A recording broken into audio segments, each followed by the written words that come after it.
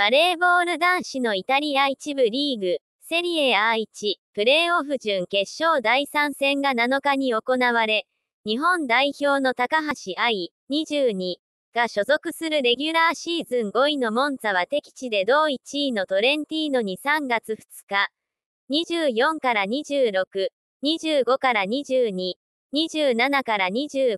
25から27、15から13で競り勝った。3勝したチームが勝ち上がる準決勝で初戦から2連敗を喫していたが、初勝利を挙げて1勝2敗とした。セットカウント2対2で迎えた第5セット。高橋が躍動した。7の7から連続でブロックアウトを取り、11の9からは豪快なバックアタックで得点。14から13からは相手のフェイントをブロックで叩き落とし、チームに勝利をもたらした。チーム最多の25得点を挙げた高橋は MVP に選出された。試合後のインタビューでは、集中して準備してきた。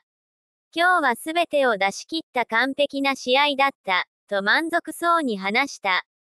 日本代表首相の石川祐希、28が所属する同6位のミラノは敵地で同2位のペルージャに1月3日、25から20、18から25、13から25、21から25で逆転負けを喫した。対戦成績は1勝2敗となり、初の決勝進出に向けて負けられない状況となった。